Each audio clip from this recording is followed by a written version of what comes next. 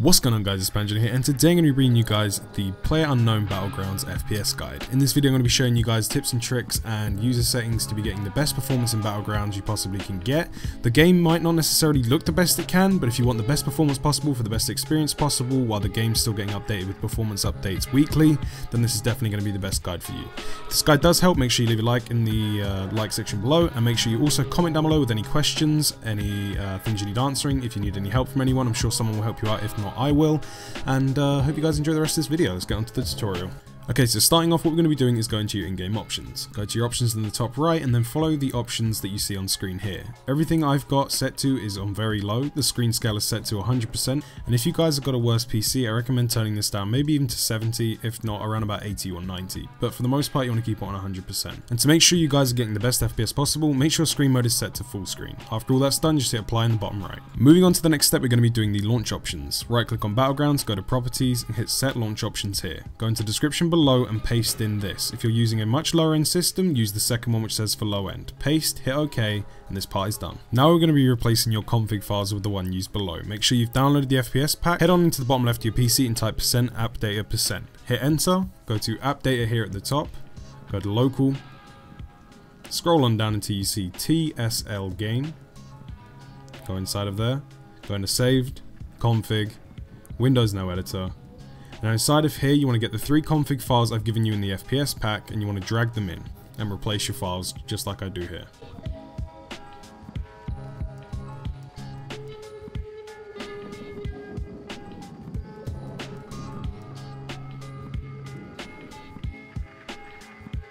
Once you guys have finished copying them over, make sure you right click on all of them and set them to read only. Check the box there, hit apply and hit OK. Make sure you do that to every single one of them that you've just replaced, all three of them. This makes sure the game can't hard reset your settings when you boot it and it can't force any other graphics options back on. Now we're going to be clearing out your temp file. Head onto the bottom left again, type percent app data percent. Go inside of there, go to app data again, local. Now this time you're going to be scrolling down until you see a folder called TEMP. Go inside of here and highlight every single file and folder from the top to the bottom. Once that's done, just hit the delete key. If it tells you this action can't be completed, check the box there which says do this for all current items, and this means that it will only keep the ones that you're actually using. Years and years and years of data are here depending on how long your operating system has been installed for, and this can sometimes clear up to 10 plus gigabytes of data. Make sure you clean your recycling bin, and we're done. Now we're going to be speeding up Windows general performance. Go to the bottom left and type in system and hit enter. Once you're inside of this screen, you need to go to the left hand side of the screen and go to advanced system settings. Once inside of there, go to the Advanced tab. Underneath there you'll find Performance, hit the Settings button. Once inside of here you need to go to the Advanced tab, select Programs and go down to the Paging file. Uncheck the box at the top, select all of your hard drives which you have your games and your operating system on, and select No Paging file. Once that's done, hit OK. It'll ask you to restart your PC, but just do that later on. Hit Apply, hit OK. Now we're also going to be going back into the Performance tab. Hit Settings once more and go to Visual Effects. Windows defaultly sets let Windows choose the best for my computer, but I like to go to Custom. Turn off every one of these options depending on which you do and don't like. This is personal preference, but the more you turn off, the better FPS you'll have. This is very minor, but if you want the best FPS possible, I recommend you turn them all off. Personally, I put show thumbnails on instead of uh, icons, just for pictures, and I hit apply. This makes your text look a lot worse, but if you guys want the best FPS possible, this is definitely the way to go. Inside of here, you can turn this on or off. I haven't done much experimenting with this, but turning off sometimes can possibly help. Hit OK, hit apply, and then hit OK again. Next, we're going to be removing excess junk and optimizing your system using a program called CCleaner. Installation has been provided in the pack below. Just go into the setup wizard and follow the instructions. Press install, wait for it to finish, and then hit run CCleaner. Once inside of here, it's going to ask you to uh, download the latest version. Just hit no because there's no need. Scroll down here to the bottom and hit analyze. This may take some time depending on your system, but wait for this to do. Sometimes when the program is running, it'll ask you to close programs like Google Chrome and your Microsoft Explorer. Just hit OK and wait for the program to finish doing that. If it asks for a force close, just hit yes and you'll be provided with a screen like this. Then just hit run cleaner, hit OK, and wait for another pass.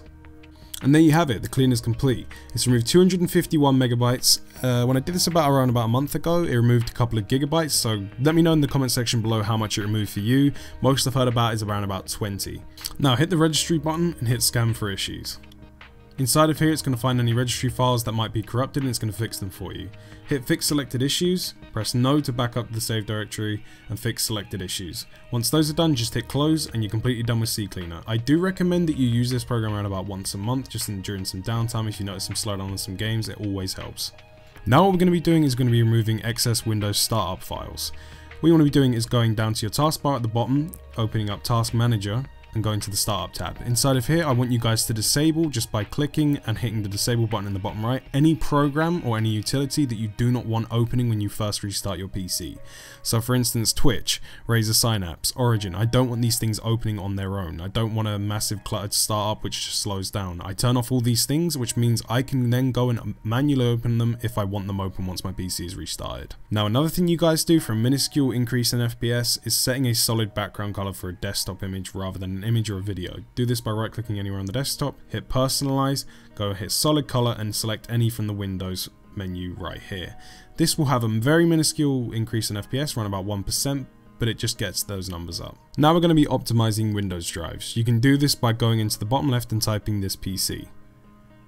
Inside of here, you need to scroll down until you see all of your hard drives and SSDs. For me, I've got my operating system running on my C drive, and we're going to do this one first. Hit Properties and go down to the Disk Cleanup under General. Click on that and wait for it to do its thing. Once it's finished calculating, it's going to give you something like this, and there could be more boxes here, there could be a more, a more file size, it doesn't necessarily matter. Check all the boxes, go down to the bottom and press OK.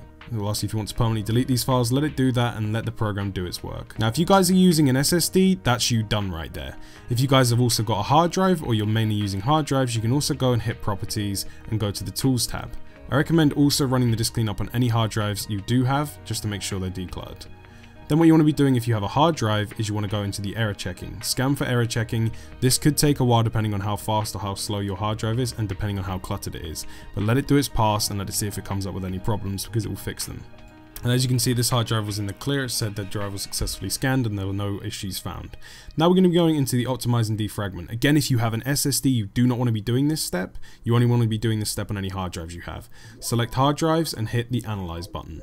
It will say if you've got any fragmented, if you do, what you want to be doing is highlighting them and hitting the optimize button. This can take a long time, so I recommend you guys either go out, get yourself something to eat or drink, or go to bed and leave this on overnight doing this, because depending on how cluttered your hard drive is and how slow it is, this can take several hours, but it's definitely worth doing it.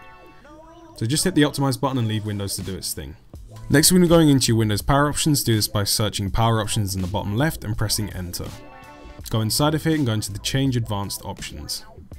Select this option here and inside of here you want to be going into the hard disk, turn off hard disk after and set that to zero. Once that's done hit apply. This basically means that your hard drives never go to sleep. Sounds relatively scary but no one's ever had a hard drive fail over this and it just makes sure that your PC system is always running as fast as it possibly can. Now we're going to be running a sweep of Windows Defender. This is Windows 10's built-in antivirus. I don't recommend using any other antivirus besides this one because it's very lightweight and it's built into Windows itself. Search Windows Defender in the bottom left, select a quick scan and hit scan now. Now again this could take a lot longer. I'm running this on an SSD so this is why it's that fast but if you guys got a slow hard drive then it's probably going to take a little while again. Just take yourself up to the toilet, go do whatever you need to go and do and come back to your system and you will be prompted with the information from your virus scan. If it tells you it has any problems, it will fix them for you. If not, you'll be presented with the screen I'm about to get here.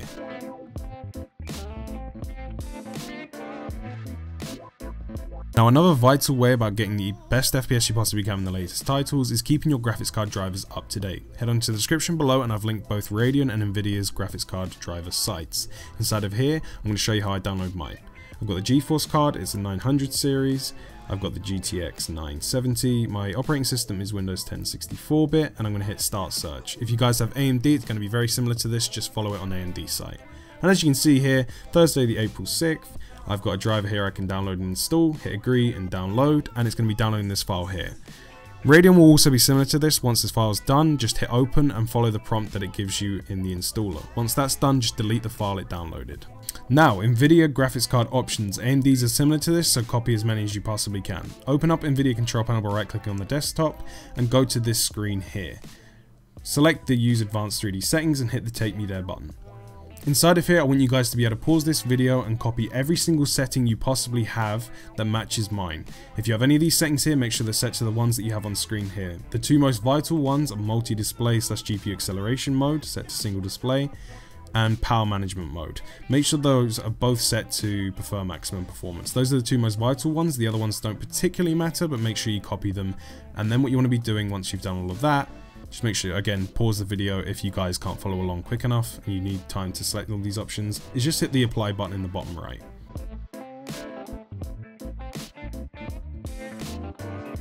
Now, if you guys have been noticing your games have been slowing down a hell of a lot recently, it's probably because of out-of-date drivers. Now, this program I'm about to show you right here called Driver Booster, an installation is included in the pack below. Just run the Driver Booster setup and go through the prompt. And once it's installed, you want to open up the program. This program will download and install the latest drivers for all of your hardware in your PC for you. Open up the program and it will prompt you with a scan. This might take a little bit longer than one on uh, my screen, but once it's done, you'll be prompted with a screen like this. Now, once inside of the program, you're probably going to be prompted with more drivers than I have. All you have to do is just make sure they're all highlighted there on the left and hit the update now button. This will go through and install all of them for you. Again, this could take some time because that's to download and install every single driver, and I recommend doing this when you have some free time after watching this video, whether it be overnight or if you need to go out, or if you can leave your PC for maybe an hour or so.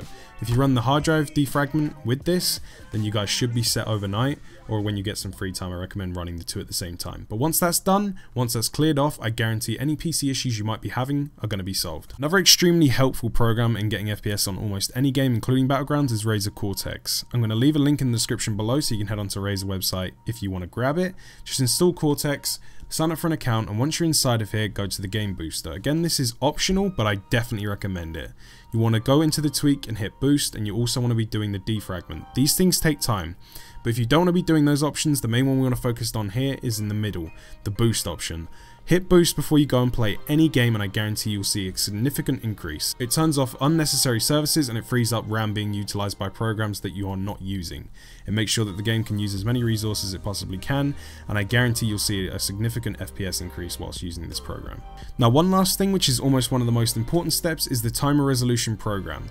Run this as administrator and it's going to look like a very extremely weird program. What you want to be doing is setting max set that to maximum, boot any game of your choice, leave it running in the background, just minimize it, make sure you don't close it, and then once you're done playing you hit default. This basically speeds up the Windows timer to make sure that programs can utilize Windows code as fast as they want and they're not limited in doing so. This means if you're getting any frame stutter or any delay and response time issues, it's going to eliminate them completely. It's a definitely vital program in getting the most smoothest experience you possibly can out of games and I always use it. Just make sure you close out of it once you're done and set it back to default and just run it with any game out there. And there you guys have it. Next time you go and boot your game, I guarantee you'll see a significant increase in your FPS. If you do, let me know in the comment section below what you were and what you went from.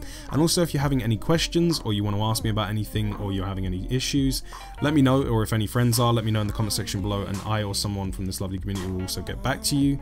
And that's pretty much it guys. Again, it's not the prettiest looking thing. Resolution is still the same. Textures might be a little bit lower, but the game runs a hell of a lot smoother. The response time is a hell of a lot better and it's a more enjoyable more enjoyable experience for me and the other people that I've shown this FPS guide with so far. Again, if you have any friends that play this game who might be getting low FPS and you want to show this guide to them, that'd be deeply appreciated if you guys can link in this video, share it with them, hopefully get their game working, give them a much better experience, and get everyone on the same level playing field on Battlegrounds, no matter what your system is like. If you guys did enjoy this video, make sure to leave a like down below. Also, subscribe to the channel if you guys are looking for more FPS guides on future games and the rest of my content, and thank you very much for watching, guys. Again, comment section below for any questions. Feel free to share this video with friends, it would be deeply appreciated. And if you also leave a like, that would make my day. Thank you very much for watching, guys. This has been Panjno, and I am out.